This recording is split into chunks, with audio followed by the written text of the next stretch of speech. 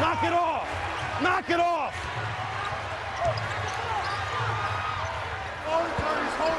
Well, don't throw the elbow. I'll take care. I got it. I got it. I, I'm all right, Nick. I got it. I don't know whether you did it on purpose or not.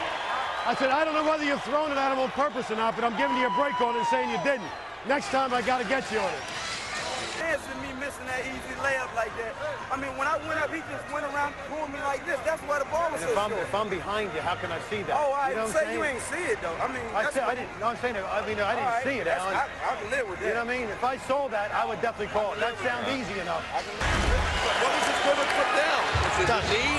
Something was sliding. Yeah, he was sliding, but in my opinion, he hasn't turned away to gain an advantage. He grabs the ball. It's like someone who dove on it. Check for an offensive foul. I thought you hit him when he went up for the shot. I haven't. Okay, all right. That's, that's, that's what I saw. Same way on the other end now? You got His it. hand You- over my head. I know we I talked about that. On the follow through, if you can't follow through, Once that ball's out of your hand, Dirk, I'm not going to give you that. Split second. I'm not going to give you that, Split Dirk. second, I haven't. I've never given it in 16 years. I'm not going to start now. All right. Everything. All right. They have so we're going to three times. now.